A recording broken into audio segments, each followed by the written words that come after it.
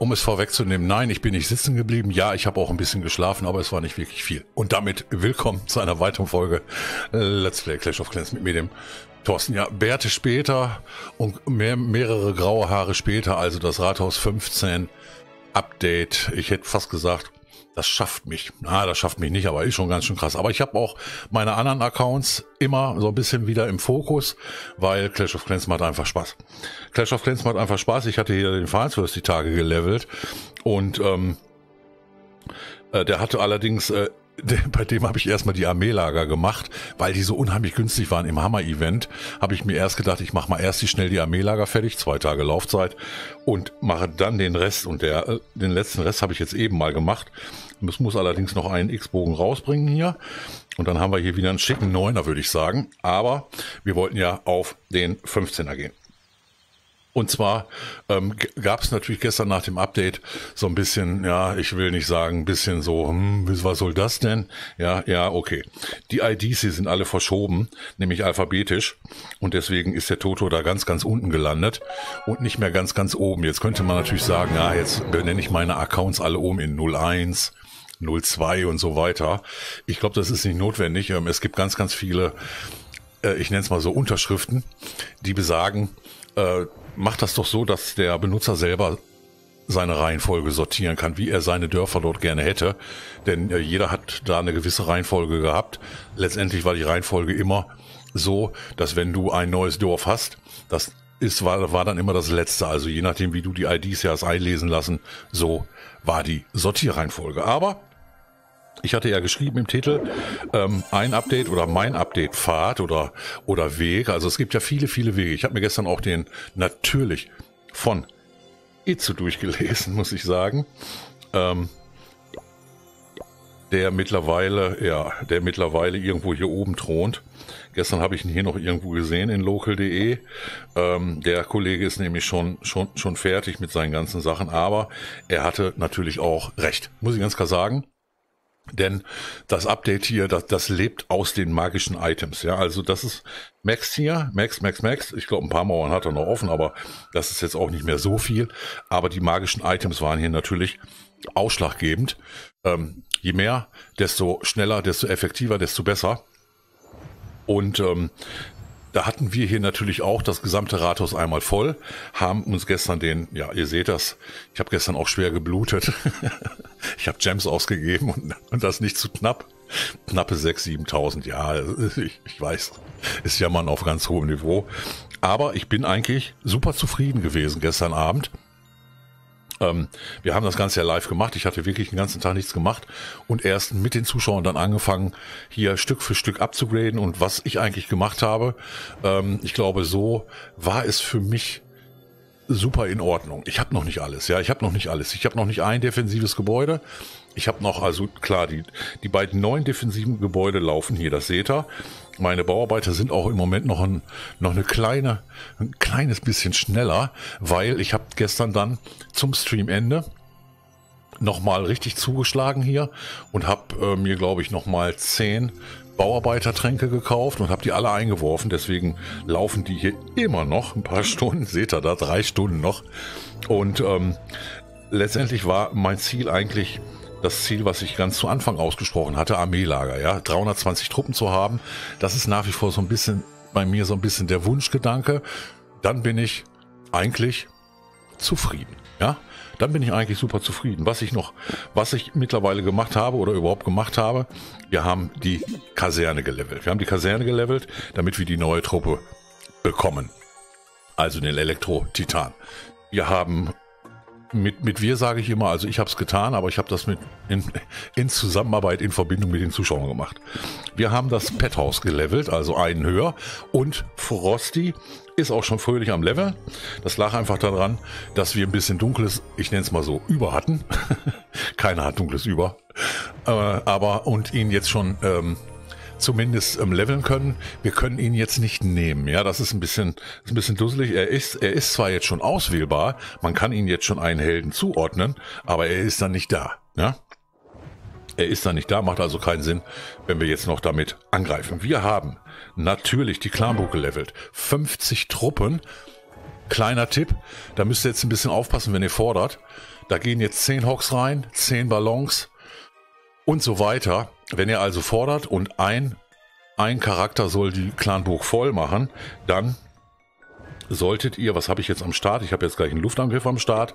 Solltet ihr vielleicht nicht 10 Ballons nehmen, sondern ein ähm, Drachenreiter und 5 Ballons. Das kann nämlich einer spenden oder aber ohne, dass du ein zweites Mal vielleicht noch, noch fordern musst oder, oder holst du die Sachen hier mit den Überfallmedaillen rein. Also nur kleiner Tipp am Rande, denn ähm, ist uns gestern äh, oder mir auch gestern oft genug passiert, dass ich einfach gesagt habe, komm, zehn Loons und habe immer gedacht, wieso kommen da immer nur neun rein?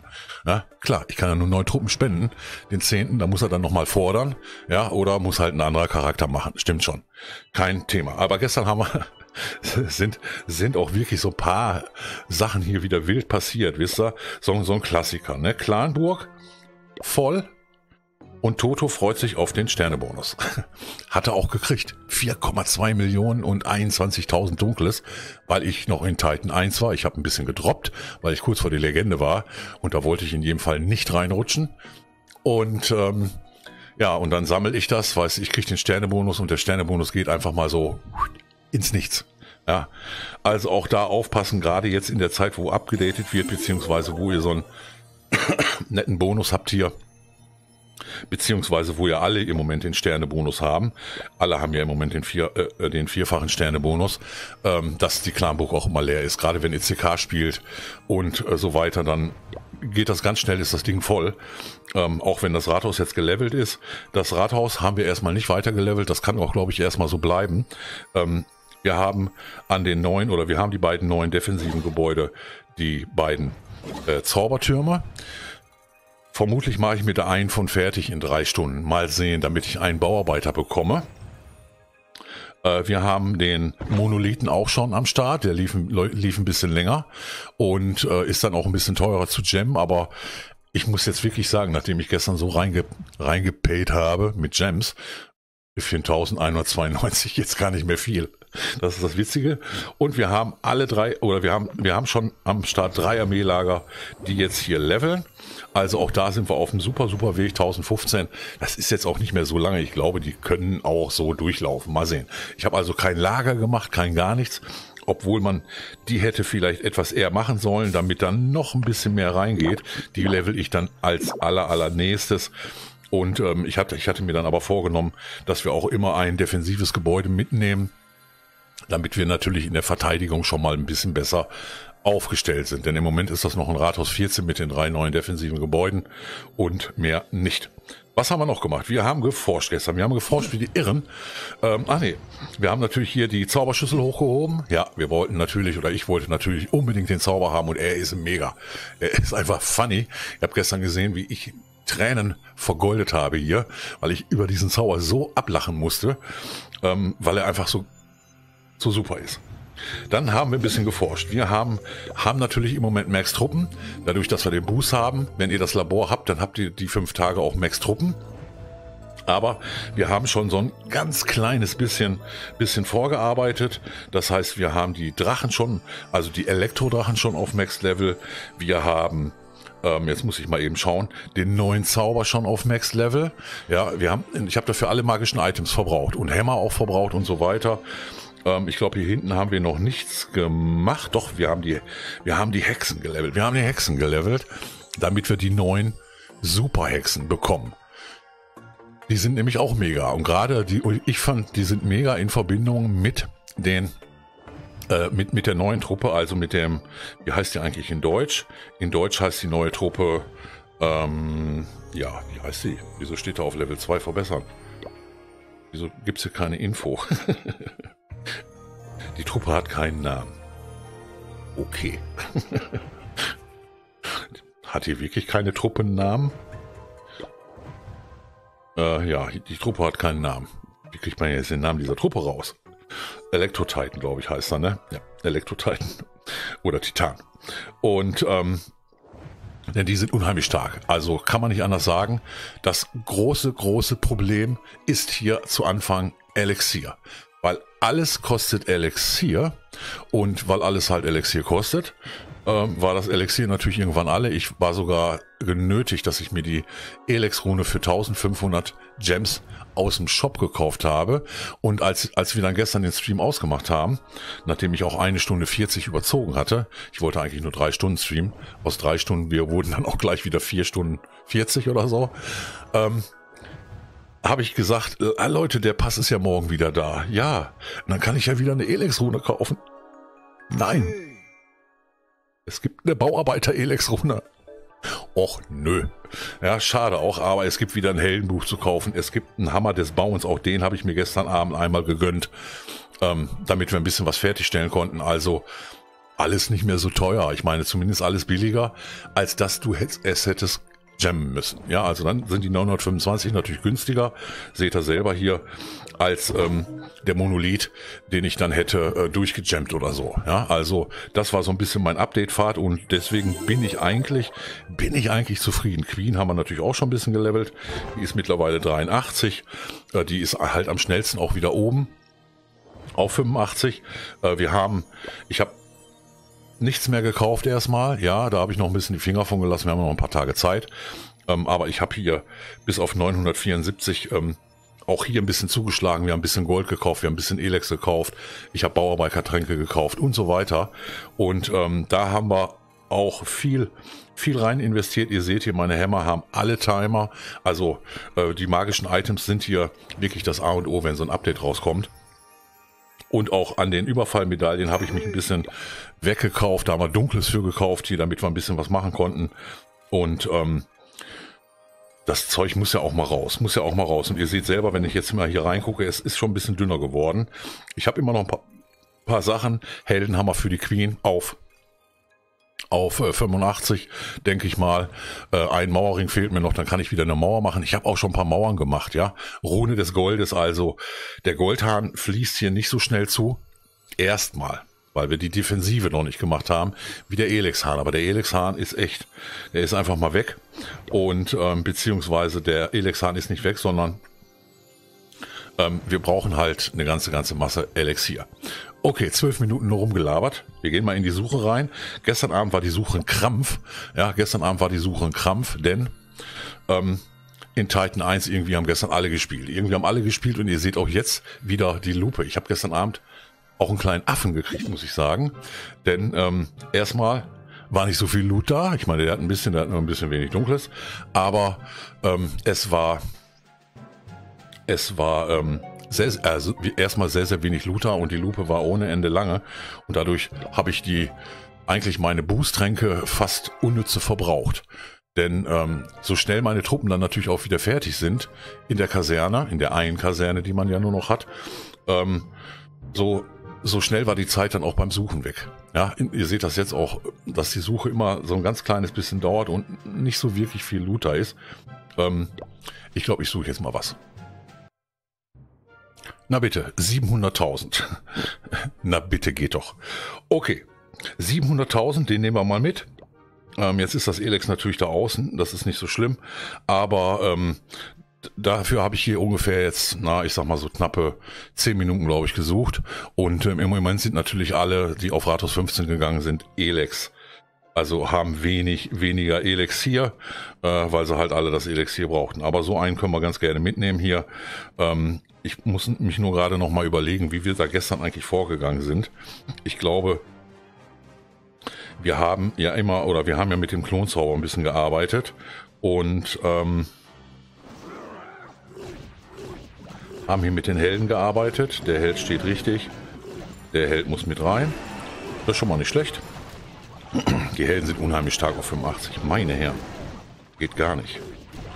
So, Mauerbrecher hier mit drin. Und den King erstmal geschafft dort. Mal sehen, wie weit unser jetziger King hier kommt. Und ob die Queen denn auch Richtung, vielleicht noch Richtung Adler geht. Wäre ganz schick. Wäre ganz schick. Ähm, oder sie geht halt doch woanders her. Mal sehen, wo die jetzt hergeht. Geht sie rum? Ja, die geht rum. Sehr schön. Aber ich glaube, die kommt nicht an den Adler ran, oder doch? Kommt die doch an den Adler ran? Ja, das ist cool. Okay, die Queen kommt an den Adler ran. Dann nehmen wir die Queen jetzt auf einer anderen Seite. Wir haben jetzt den Unsichtbarkeitszauber genommen. Adler ist schon mal weg, ja?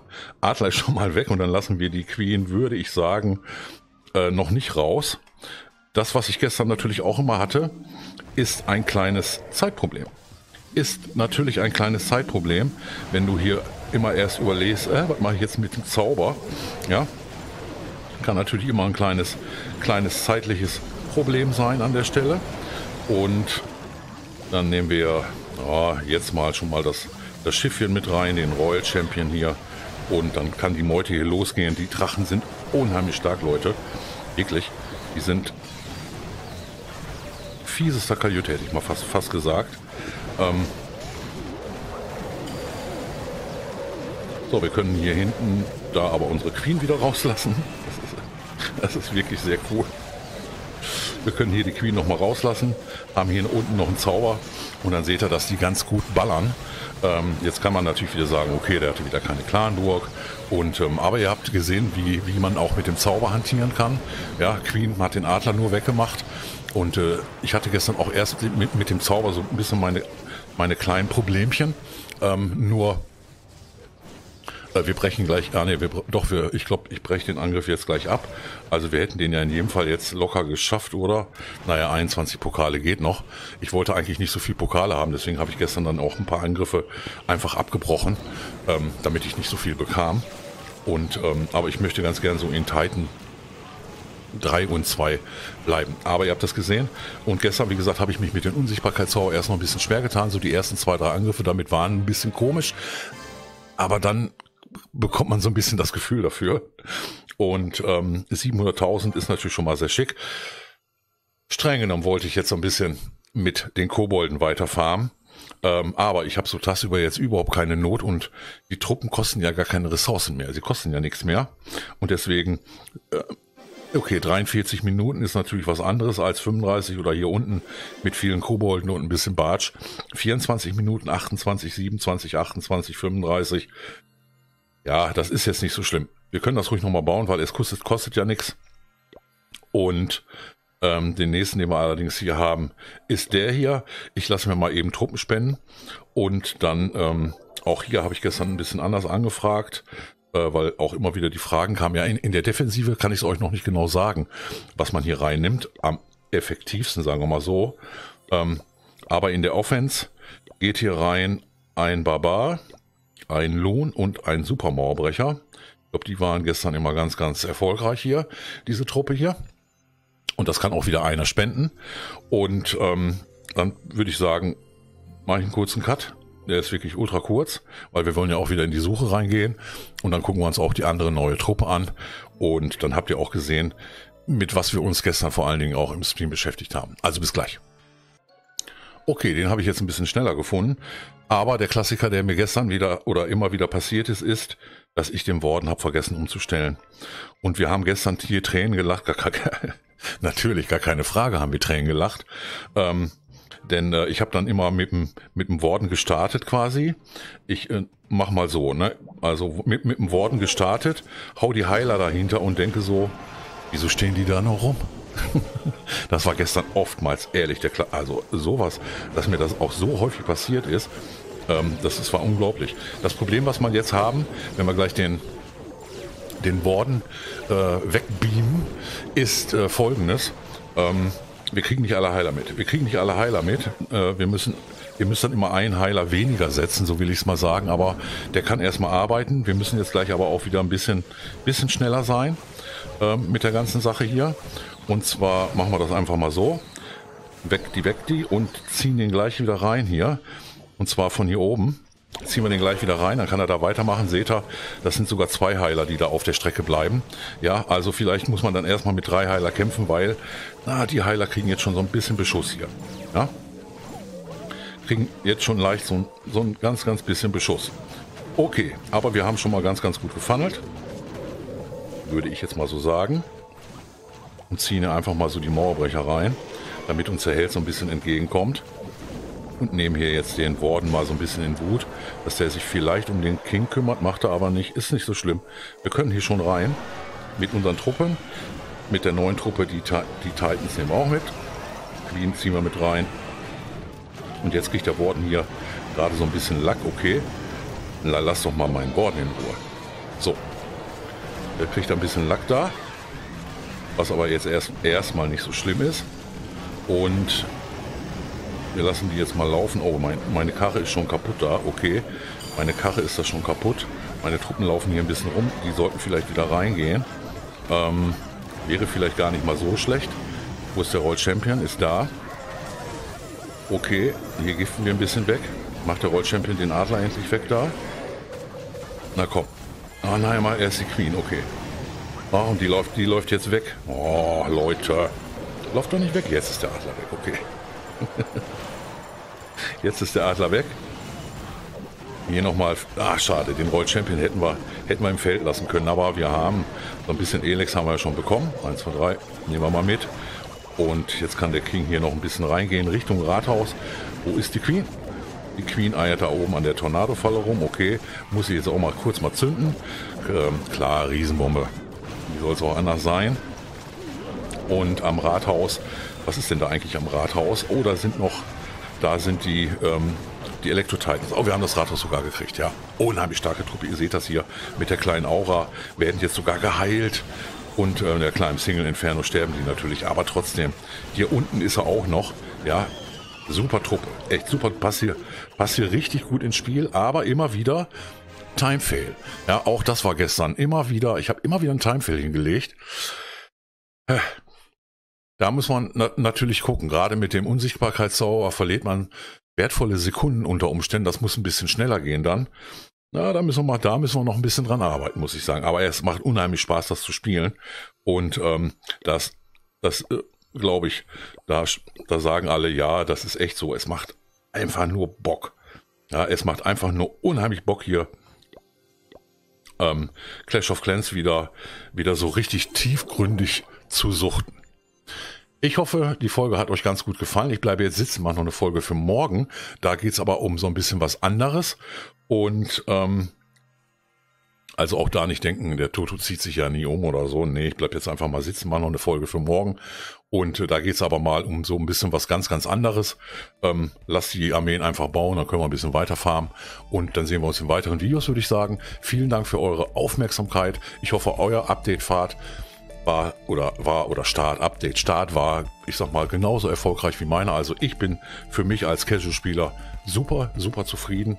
Und ähm, vielen lieben Dank nochmal an die Zuschauer von gestern Abend, die mir da natürlich ein bisschen unter die Arme gegriffen haben. Ja, aber äh, dennoch glaube ich, war das ein ganz gelungener Abend. Und dann sehen wir uns in weiteren Videos und Livestreams. Bis dahin. Ciao, ciao. Euer Toto. Clashed.